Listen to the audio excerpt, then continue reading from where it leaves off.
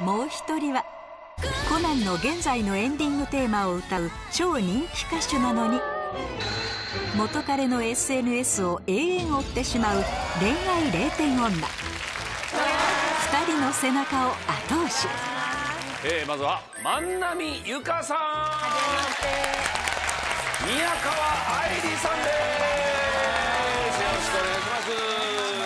ます宮川さんいきましょうかね。若干二十歳にしてコナンのエンディングテーマに抜擢されてい。る令和注目の新人さんです。あ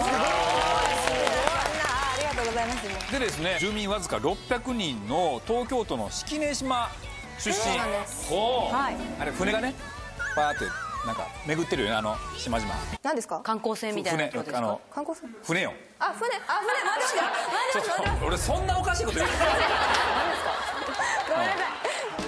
今年コナンのエンディングテーマに採用されお仕事は順風満帆ですが4年前に別れた彼への未練が断ち切れず彼の SNS を1日最高10回もチェック。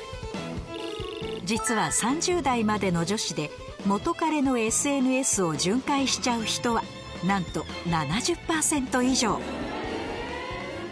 今回は指原パイセンの力を借り SNS でいい女アピールをして彼に復讐したいのだそう。ずっと引きずってんの。トラウマっていうのは、なんかそういうすごい体験をしてしま